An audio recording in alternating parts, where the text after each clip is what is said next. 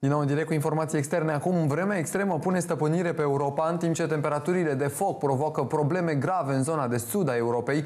Vremea rece face ravagii la polul opus. Mai multe orașe au fost inundate, iar cele mai populare destinații de vacanță au fost măturate de vijelii și ploi torențiale.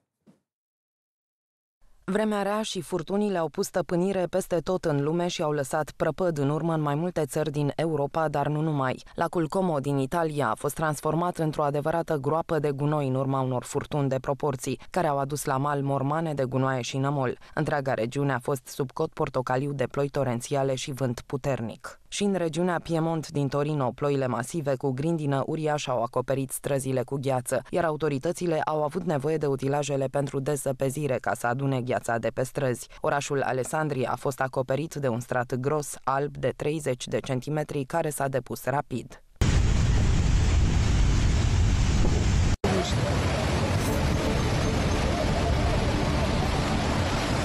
Ploile torențiale au luat cu asalt și Turcia, acolo unde mai multe orașe au fost inundate. În orașul Ordu a plouat preț de două zile fără încetare. Străzile s-au transformat în șiroaie de apă, iar mai multe zone au fost distruse din cauza furtunilor. Vremea extremă a făcut ravagii și peste ocean, acolo unde mai multe state au fost lovite de uraganul Beryl. În Texas, străzile au fost acoperite de apă, iar mai multe locuințe au fost inundate și distruse din cauza vijeliilor. Autoritățile au fost nevoite să intervină cu bărci de salvare.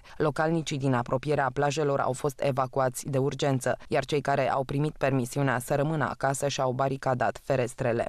În timp ce statul Texas se scufundă, americanii din Las Vegas și San Francisco au parte de temperaturi de foc de peste 45 de grade Celsius. În ciuda avertismentelor, mulți turiști se aventurează în Valea Morții, acolo unde se înregistrează cele mai ridicate temperaturi de pe glob, de 56 de grade Celsius. Un bărbat și-a pierdut viața răpus de caniculă, iar altul a ajuns la spital în stare gravă, după ce au vrut să imortalizeze momentul și au făcut câteva poze cu termometrul la temperaturi de peste 50 55 de grade Celsius.